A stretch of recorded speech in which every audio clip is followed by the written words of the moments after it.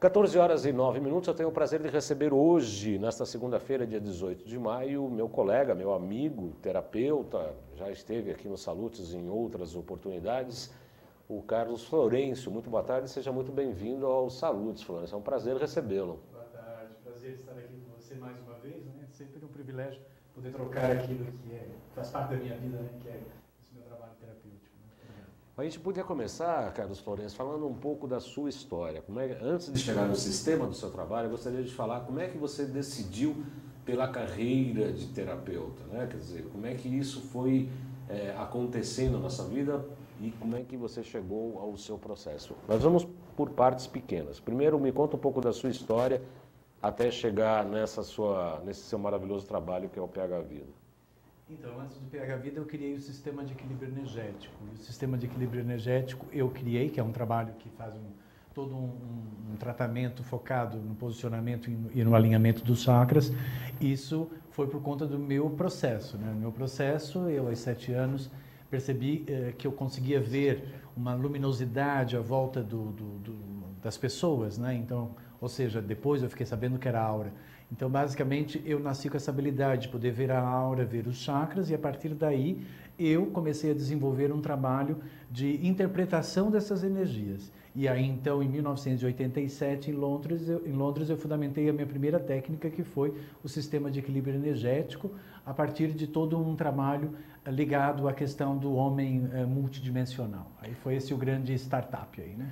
É, eu acho, o que eu acho muito interessante na sua história, Carlos Fortes, exatamente que eu o conheço, já tivemos oportunidade de, de, trabalhar e conversar muitas vezes, é que, como é que você na, praticamente nasceu com esse dom de enxergar? Quando é que você começou a perceber que você que as pessoas não enxergavam, você enxergavam, esse fato de você enxergar essas cores, esses chakras, lhe assustou em algum momento? Então, não é uma questão de assustar, é uma questão de você perceber que você é diferente, né? Eh, todos nós somos diferentes. Uma das coisas do meu método, que é o PH Vida, é preservar a diferença do indivíduo, porque cada um é uma potência expressa numa condição humana e a vida, né, eu vejo como um treinamento que basicamente está ensinando a pessoa a aprender a se conhecer e a se conhecer na relação com, com o seu meio. Quando eu percebi isso, esta diferença, é claro que nós temos uma tendência de nos comparar, e ao comparar eu percebi que não, não, não havia, pelo menos naquela altura, lá em Santa Catarina, onde eu nasci, ninguém com essa mesma habilidade. É claro que essa diferença, no primeiro momento, pode criar uma interpretação de uh, errada das pessoas, uma certa rejeição e até ao mesmo tempo uma certa admiração e, consequentemente, desconfianças e até um apelo de querer entender e saber como é que isso uh, uh, se processava. Bem, pela ausência de informação, eu tive que eh, segurar um pouco isso, deixar passar um pouco, mesmo porque eu tinha 7 anos de idade, deixar passar um pouco do tempo e aos 14 anos é que realmente eu comecei a aprofundar esse estudo, por conta até de um trabalho que eu fiz na escola, eu estudava em escola católica e era, e era um trabalho de religião. Foi quando eu encontrei a religião uh, hinduísta e o budismo, e aí a partir dali eu percebi que aqui, aqueles redemoinhos de energia, que era como eu chamava, afinal tinha um nome que era chakras. E aí então eu sorvi, absorvi todas as informações que tinham naquela altura, mas uh, percebi que sempre existia uma coisa diferente na minha interpretação. Por isso a necessidade de criar o meu próprio método, que foi o primeiro, que foi o Si, né? Si significa em inglês, porque eu estava na Inglaterra, ver, ou seja, ver a energia né? e poder interpretar essa energia. Esse curso do Si, Sistema de Equilíbrio Energético, hoje eu dou, eh, eu faço, dou curso também de formação terapêutica, né? Então, ou seja, eu ensino as pessoas a também aprenderem a ver, a interpretar essa energia, a diagnosticar tudo pela inteligência intuitiva.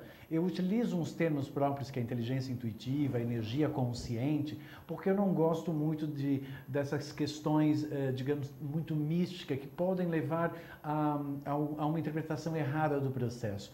Para mim, no universo, tudo, é, tudo são consciências, são inteligências que atuam em determinada dimensão. E digamos que essa minha habilidade, esse meu talento, que é uma diferença, ela atua numa dimensão que é diferente da, da, dimensão mental, que analisa os fatos a partir daquilo que percebe e consegue pela cognição definir. Portanto, automaticamente esse meu processo ele é transpessoal, né? Ele não, ele é multidimensional. Portanto, é uma outra dimensão. Por isso a diferença. Quando eu percebi isso, então assim, não dá para você é, comparar, porque são dimensões completamente distintas. E aí nunca tive uma necessidade de provar absolutamente nada. É, comecei a fazer o meu trabalho, instituí o meu método e quem vinha eu tratava, curava, uh, dava o direcionamento do que precisava fazer para poder transpor aquele limite, romper com aquele mecanismo de autossabotagem, ou com aquele karma, ou com o que a pessoa trazia ali como obstáculo na sua existência, porque a minha, a minha intenção sempre foi fazer com que a pessoa saísse melhor depois de passar por mim.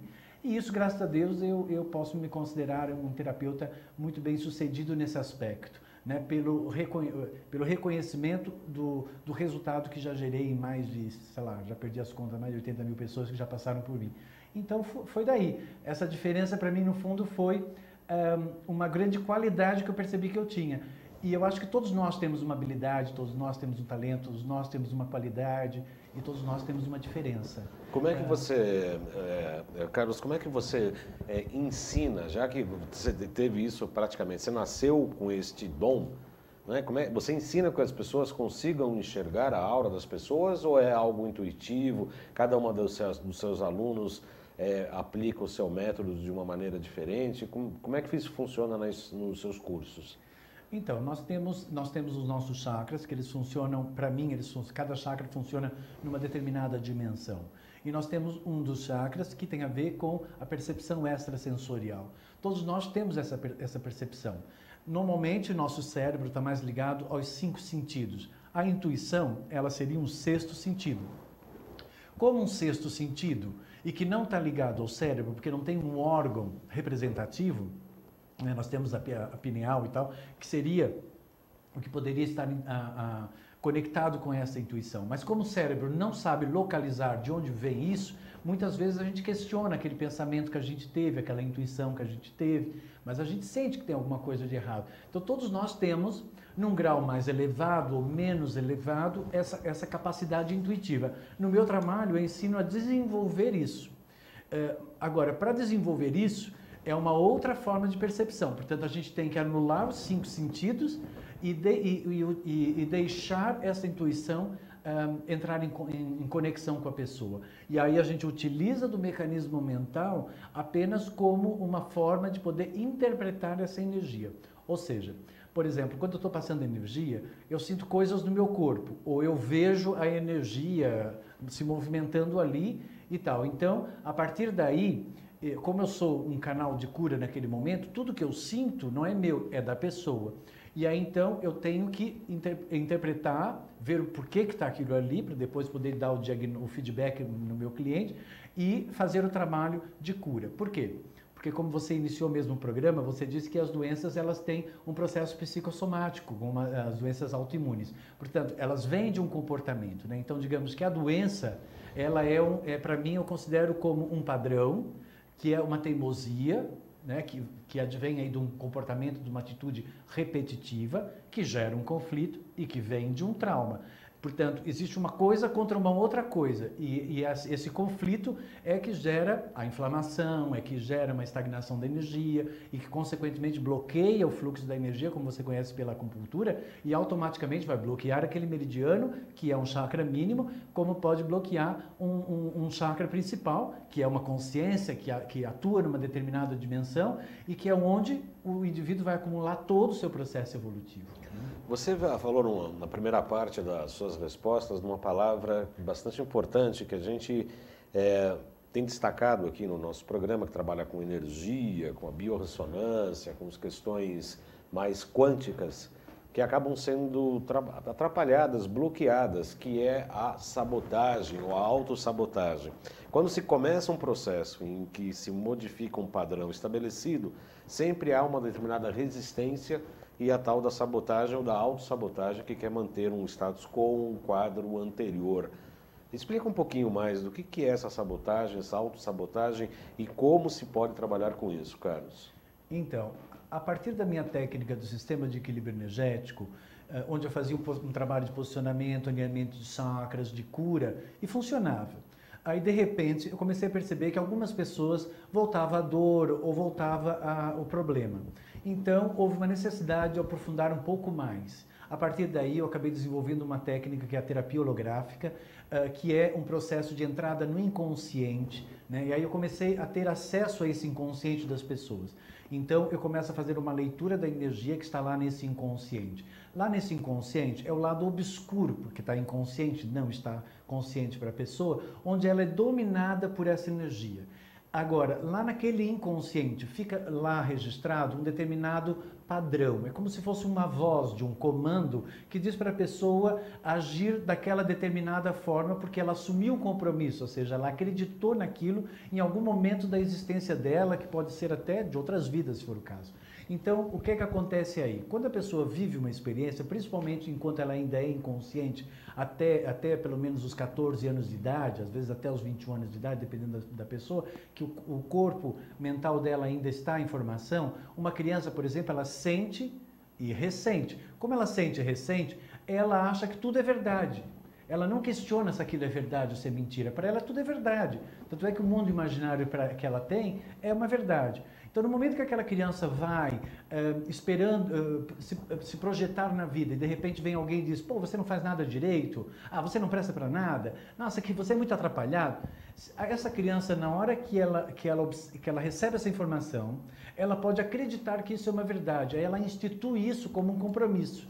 Então, na, aí depois ela cresce e à medida que ela cresce, ela vai criando então um mecanismo de autossabotagem. Ou seja, na hora dela conseguir fazer certo, ela vai fazer errado. Por quê? Porque ela assumiu o compromisso de que ela não prestava, de que ela não servia, de que ela não era capaz. Então, consequentemente, aquela voz de comando sai lá do inconsciente e faz com que a pessoa faça alguma coisa para não gerar o resultado. Ou seja, ela morre literalmente na praia. Através da terapia holográfica que eu, que eu criei, juntamente depois que eu formulei o PH Vida, né, uh, que, que é todo o desenvolvimento de coach, de treinamento focado em resultado, para transformar esses padrões, é que a gente então vai acessar, ter acesso a esse inconsciente, ir lá e arrancar transmutar, modificar aquela crença que está lá, que veio de um trauma, que gerou um conflito, que criou um padrão, que automaticamente vai ser, vai, poderá aqui gerar uma doença. E, e, e conforme for, pode se somar depois mais no fim da vida como aquilo que vai eh, estabelecer como a passagem final da, da existência que seria a morte. Então todo o processo da vida vai culminar sempre no final da, da, da existência na, em tudo aquilo que a pessoa vai acumulando. Eu digo que nós vivemos num universo de energia, né? E nós vivemos num planeta que ele tem gravidade, portanto as coisas elas são graves, elas são pesadas, né? Então tem muito mais tendência da gente olhar as coisas pelo peso do que pela leveza. Uma das coisas que eu ensino as pessoas é olhar a experiência como leveza e não como peso, porque ao, ao levar para o peso, nós já vamos ter um problema a nível evolutivo, porque nós precisamos transformar o conhecimento em leveza. Se eu transformo o conhecimento em peso, fico com raiva, fico com mágoa, fico com ódio, tudo isso vai interferir no meu processo evolutivo, é muito denso, vai interferir na minha ascensão pessoal. Consequentemente, vai criar esses mecanismos de autossabotagem e as experiências vão ficar repetitivas. Então, para você que está aqui no, no, nos ouvindo, como é que você sabe que você tem um, meca um mecanismo de autossabotagem?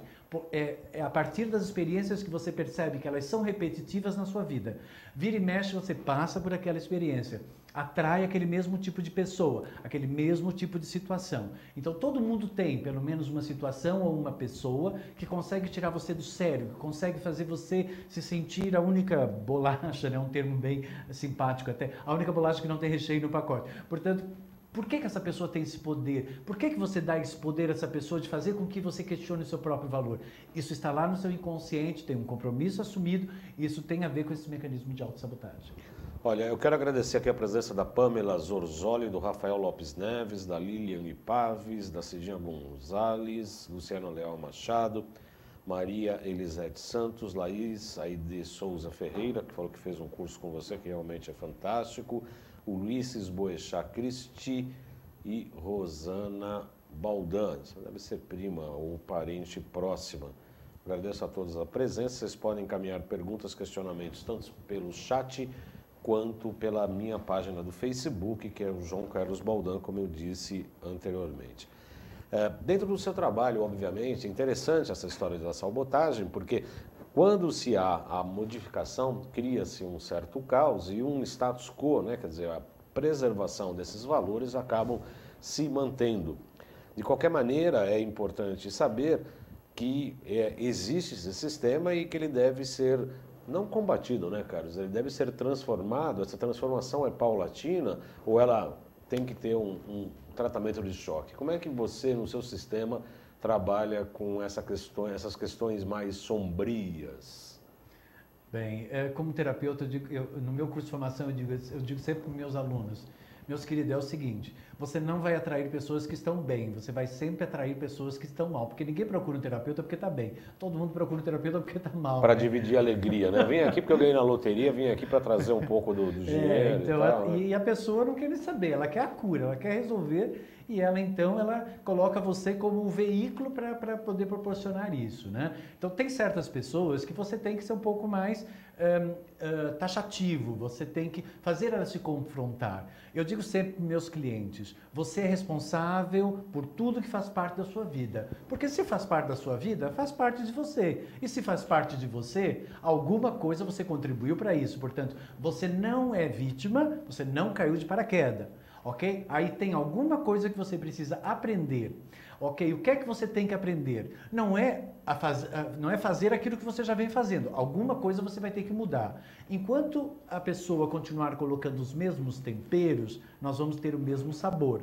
Portanto, para que haja uma alteração, temos que mudar os temperos. Ou seja, temos que mudar o comportamento, a atitude, a forma de pensar, sentir. Alguma coisa a gente vai ter que negociar aí para gerar um outro resultado. E é isso que eu faço no meu trabalho. Eu faço a pessoa se confrontar com essa responsabilidade fazendo com que ela perceba que se ela não agiu de forma consciente, ou seja, ela não sabia que aquele ato ia gerar aquela consequência, aquela causa, aquele efeito, ela não é culpada. Você só é culpado quando você sabe que determinado comportamento vai gerar determinado resultado. E mesmo assim você faz. Então, digamos que essa atitude é uma atitude já já já já muito bem empregue na pessoa. A pessoa sabe fazer esse movimento. Agora, se você faz, mas você não sabe por que que faz, então, responsável você é, mais culpado você nunca é. Então, o trabalho às vezes tem que ser um pouco de choque, né? E eu sou bem incisivo. O meu trabalho é um trabalho de consciência e transformação para uma alta performance. Não existe alta performance sem consciência e sem transformação.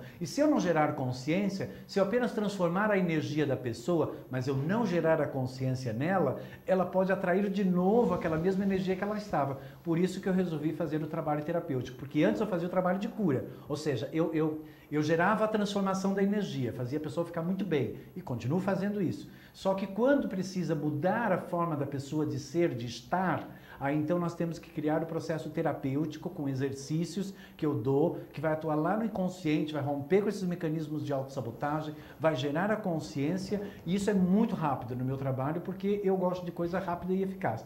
E aí a, a ideia é justamente essa, né? É romper com aquela limitação que está ali e que ela é proveniente de algum conflito, de algum compromisso que a pessoa assumiu lá atrás e que ela é responsável, mas ela pode não ser culpada porque ela pode não estar ciente, consciente desse processo.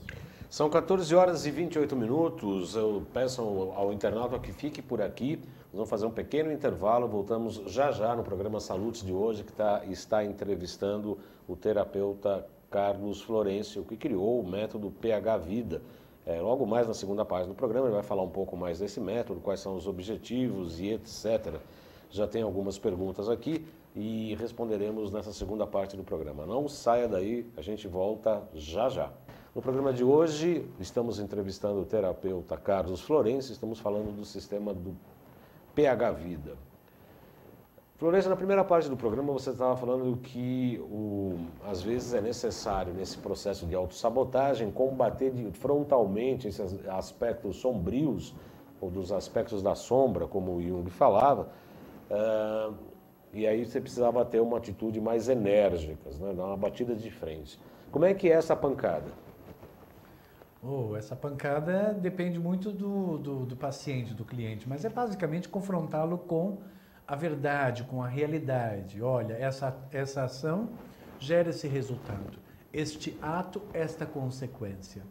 Se, se isso faz parte da sua vida, é sua responsabilidade. Então, até que ponto que você está interessado em fazer essa transformação?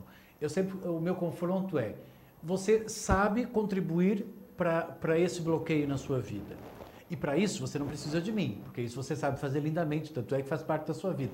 você precisa de mim é justamente para ensiná-lo como fazer diferente para gerar um outro resultado. Para isso, nós vamos ter que negociar com você. Alguma coisa vai ter que sair fora e outras coisas nós vamos ter que acrescentar. E é basicamente esse confronto que eu faço com a pessoa, né? E até muitas vezes eu acabo fazendo a pessoa achar graça desses processos, porque os processos inconscientes inconscientes fazem com que as pessoas tenham atitudes realmente ridículas, né? É, elas não percebem e, e, são até engraçadas. Tanto é que quando, por exemplo, você vive uma experiência no passado que você pagou um bico danado, que aquela experiência ela te traumatizou, você se sentiu magoado, ficou com raiva, mas hoje, quando você conta para as pessoas, você acha graça, significa então que você metabolizou aquela adrenalina liberada lá. Aquela adrenalina ela tem um registro e esse registro fica preso em alguma área do seu corpo, no fígado, no baço, no, nos rins, onde quer que seja. Automaticamente essa adrenalina com esse registro, se ficou preso e está denso, ela vai criar processos de repetição para que você possa liberar. Então, por isso que as pessoas têm os comportamentos repetitivos. Então, quando nós eh, mudamos o comportamento, nós liberamos essa adrenalina com esse registro e aí criamos um novo registro. Então, aí basicamente eu ensino as pessoas a, a conseguirem achar graça e achar ridículo daquele processo que ela já metabolizou e que outros ela ainda não conseguiu metabolizar. Ou seja, então como é que você sabe que você tem algum processo bloqueado na sua vida? São aqueles processos que quando você lembra, ainda te gera mal-estar, você gostaria que tivesse sido diferente, você ainda fica com raiva, ou ainda fica triste, ou ainda fica com mágoa esses processos, essa adrenalina, ela tem um registro e ela está presa no seu corpo. E ela vai gerar uma patologia, ela vai gerar um bloqueio energético no chakra, ela, ela vai gerar distúrbios. Portanto, não importa se ela vai ser uma doença física ou se ela vai atuar num determinado segmento da sua vida, como, sei lá, num relacionamento a dois, no trabalho, onde for, mas ela está lá. E enquanto ela estiver, lá, ela vai estar contribuindo para a sua não evolução progressiva. É, eu peço para as pessoas que participarem do chat, por gentileza, escreverem, assinarem ou no início ou no final da mensagem o seu nome, porque aqui aparece só o participante, dá um número e a gente acaba não conseguindo identificar quem está falando. O J.E. Del Nero escreveu o seguinte: Parabéns, Baldan, pelo programa que nos traz sempre informações elucidativas e heterodoxas, saindo do lugar comum em que nos amarra. Abraço, sou seu amigo no Face e tenho um arquivo só com seus programas. Obrigado pela sua participação e atenção. Espero conhecê-lo pessoalmente. Estou à sua disposição. Eu já deixei aqui meu telefone, repito, 5594-7736. Tem um outro participante que não, deu, não colocou o nome, mas se puder, por gentileza, depois envie. É, boa tarde, Baldan. Boa tarde, doutor Florencio. Você falou sobre o conhecimento além dos cinco sentidos e esse assunto é abordado de forma leve, é claro, no desenho Cavaleiros dos Zodíacos. Aí tem uma risadinha aqui, não sei se conhece, mas se conhece, ele pergunta se tem um pouco a ver. E aí, mais para frente, ele fala: o desenho se dá por cavaleiros que protegem a deusa Atena, ou Atena, e enfrentam inimigos que querem acabar com ela, que são mais fortes. Por isso, eles têm que se superar indo além dos cinco sentidos. O nome dele é Bernardo. É isso mesmo? Não, né? Isso é, uma, isso é um romance, né? Com, com referências uh, uh, míticas, né? mitológicas, né? Então, não podemos utilizar dele como uma representação de uma, de uma, de uma intuição, né? De uma percepção extrasensorial. É, é, tem um, um, componente sim que as pessoas elas têm que intuir, elas têm que imaginar elas têm que conseguir eh, eh, se conectar com algo além dos cinco sentidos. Portanto, ela não vai cheirar, ela não vai ver, ela não vai degustar, né? ou seja, os cinco sentidos que você, que o pessoal conhece, não vai ouvir. Pronto, é algo que vai vir na essência do, do, do processo. Então, por exemplo, a inteligência intuitiva, ela vem como uma essência, porque ela representa né, o, o, elemento espírito. Né? Nós temos, por exemplo, o elemento terra ligado ao olfato, nós temos o elemento água ligado ao paladar, nós temos a visão ligada ao fogo, nós temos o tato ligado ao chakra do coração, que é o elemento ar, nós temos o éter, que é, que é a audição, e o sexto sentido é o espírito, e o sétimo sentido é a alma. Portanto, quando nós entramos nesses processos, já ultrapassa, ultrapassa a dimensão de, de percepção mental. Portanto, a mente não consegue ir lá. Portanto, tem que ser uma supramente, ou seja, uma supraconsciência, que está além dessa consciência pragmática que trabalha pela razão, analisando fatos para gerar conclusão. Portanto, é diferente. Diferente. Essa visão mitológica ou os aspectos míticos tem a ver com, obviamente, com o inconsciente coletivo e a mitologia grega, não só a grega, mas a egípcia, mas eu gosto muito da grega, em que fazem grandes é, elucidações ou, ou, citações com os grandes pensamentos, com as grandes emoções coletivas, etc. Você utiliza nesse, algum, nessa técnica para é, perceber o inconsciente de cada um das pessoas, dos pacientes que lhe procuram, alguma técnica de introspecção, de meditação, de relaxamento? Utilizo, claro, com certeza. Eu crio para cada pessoa que me procura um exercício próprio que vai atuar no inconsciente, gerando a consciência para a pessoa. Então, nós vamos falar dos vários personagens que são facetas da personalidade da pessoa que acabam dominando a pessoa. Né? Então, são, é, a gente trabalha em cima do romper com, com, com esses paradigmas romper com aquele comportamento, com aquela, com, aquela, uh, com aquela atitude que a pessoa possui. Isso eu faço na minha dinâmica da terapia holográfica, criar esses exercícios que vão atuar no inconsciente, gerando consciência e liberando a pessoa desse processo repetitivo. Com relação à, à questão uh, mitológica, como você se referiu, bem, eu sou formado em, em, filosofia, portanto isso tudo é, faz parte do meu, do meu trabalho. Entre outras formações, eu também sou formado em filosofia. Portanto, uh, os grandes deuses né, gregos, né, eles representam, no fundo, os guerreiros da, que possuem virtudes específicas né, e possuem também uh, os opostos a estas virtudes que perderam essas virtudes. Então, basicamente, nós estamos falando aqui de ética né, e moral, né, o, o que é muito presente na filosofia. Né, e, e, e, com certeza, isso é presente em qualquer pessoa que queira evoluir progressivamente na, na sua atuação na vida. Né, porque sem, principalmente no momento que decorre, né, porque nós estamos aqui de, de, passando por um processo, principalmente no Brasil, que eu digo que tem duas coisas né, que podem corromper uma pessoa. Quando eu sinto que as coisas estão contra mim, eu entro numa, numa atitude de defesa. E isso pode fazer com que eu corrompa a minha própria energia. Quando eu tento tirar vantagem das situações, né, então vou querer manipular e tal, então eu posso também ter uma atitude uh, de, de corrupção.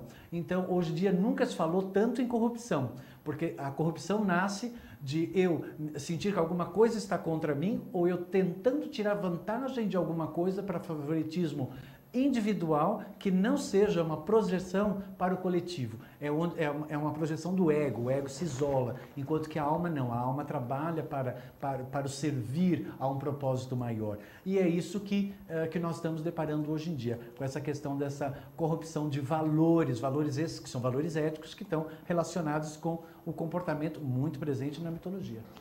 Agora, o trauma, conflito e padrão, né? Você colocou uma como se fosse uma hierarquia, mas como se fosse uma linha que vai se fortalecendo, vai se sedimentando, né?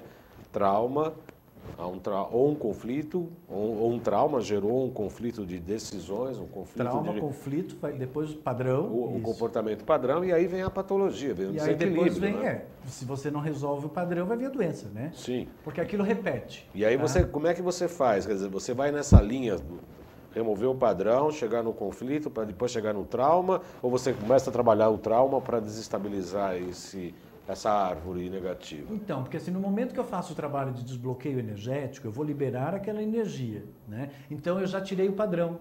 Mas aquele padrão, ele tem, ele ele ele está conectado a um conflito.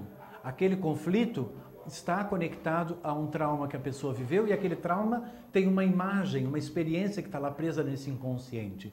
Então há uma necessidade, que é o que eu faço, que é um trabalho de entrada naquele inconsciente, ou seja, a pessoa entrar na imagem de referência. Portanto, é quase como se fosse uma espécie de regressão que no fundo não é uma regressão, porque ninguém regride, né? Nós vamos só acessar ou ter acesso, aceder àquela imagem que está lá de referência, romper com ela, quebrá-la, substituí-la por uma outra referência e aí então nós conseguimos fazer com que a pessoa libere o padrão e, consequentemente, o conflito. Por quê? Porque, por exemplo, uma pessoa chega assim e diz para mim: Ah, vira e mexe, eu estou sempre passando por essa experiência. Qual é a experiência? Ah, eu atraio pessoas que, que acabam uh, me traindo por exemplo. Esse é um padrão, ah, isso, né? Isso, isso é um padrão, é um padrão. Ela atrai pessoas que traem ela.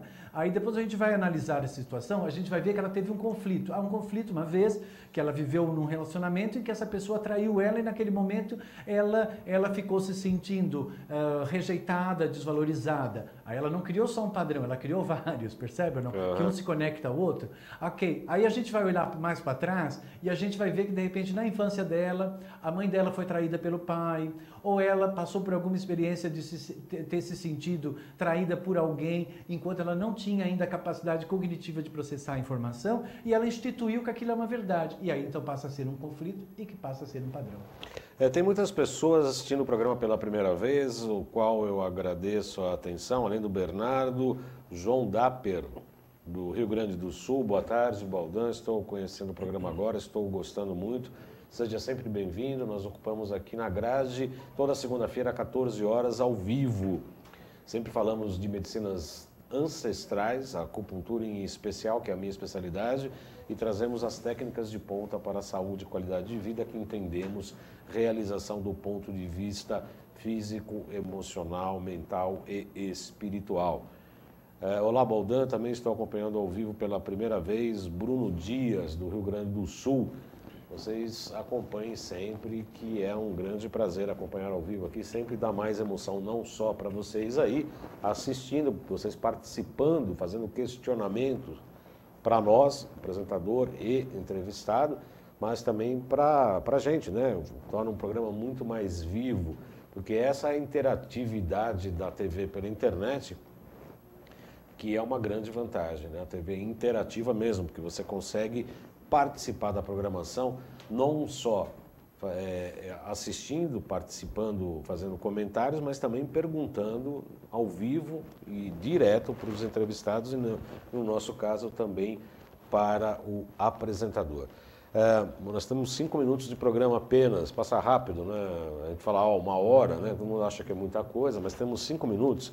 Eu gostaria que você falasse, nesses cinco minutos derradeiros, um pouco é, onde é o seu seu consultório, a sua escola, as turmas de, de curso, enfim, esses cinco minutos aí. Vamos é. aproveitar para esses dados mais práticos e tá objetivos, tá Florencio. Está ótimo, claro.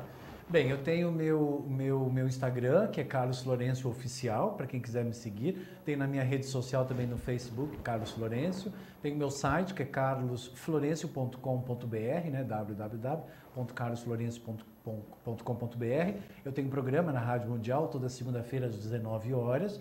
Né? Eh, todos os meus vídeos estão no YouTube, é só você acessar pelo meu site ou procurar digitar Carlos Florencio aí que você vai encontrar muita coisa a meu respeito. Tenho uma clínica que fica em São Paulo, na João Moura, 518, onde eu dou meus atendimentos e os cursos. Também vou para vários lugares onde a pessoa forme um grupo e eu vou e ministro os cursos. Também crio parceria com outros espaços onde eu possa ir e dar palestra e também treinamentos em outros estados.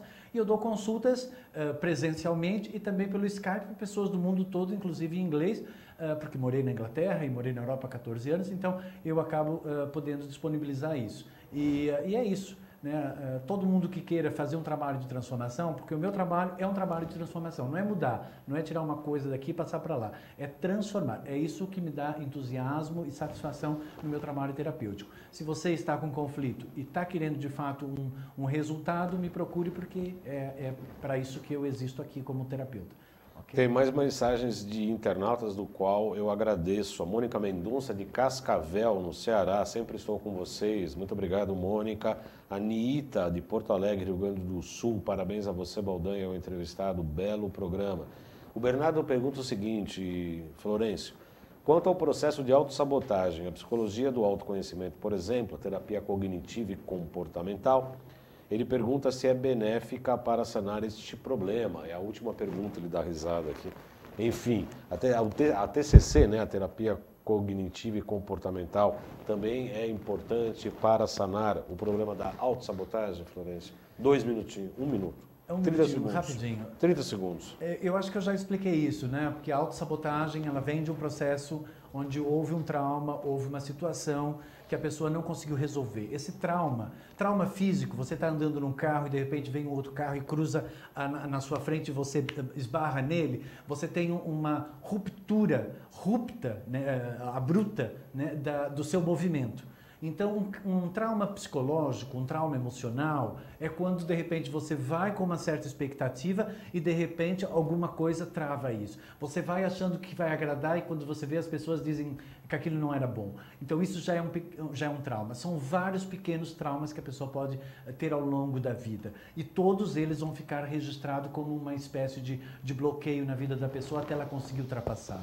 Então, as terapias, tem várias, eu tenho o meu método. E o meu método, eu me especializei em romper com o mecanismo de autossabotagem, gerando a consciência e transformação para uma alta, uma alta performance. Eu aplico a minha técnica, eu desconheço outras técnicas. Eu sei que a minha funciona, tem funcionado, né? E é isso que é, que é, que é o que faz com que eu tenha sucesso nos meus resultados. Porque realmente, eu, eu, por isso que eu criei meu método, porque eu queria uma coisa que funcionasse de forma rápida e eficaz. Mesmo porque hoje em dia as pessoas elas não estão mais com tempo para ficar um processo terapêutico, muito longo. Então, meu trabalho ele é muito ele é projetado, cada consulta nós temos metas, objetivos, até nós atingirmos o resultado daquilo que foi lido na primeira consulta, por meio da minha inteligência intuitiva, que nós vamos, eh, eu vou criar uma estratégia de resolução. Normalmente, no máximo quatro consultas, eu consigo resolver aquele mecanismo de autossabotagem, aquele trauma que aquela pessoa traz. Então, o processo ele é bem, ele é bem rápido, ok?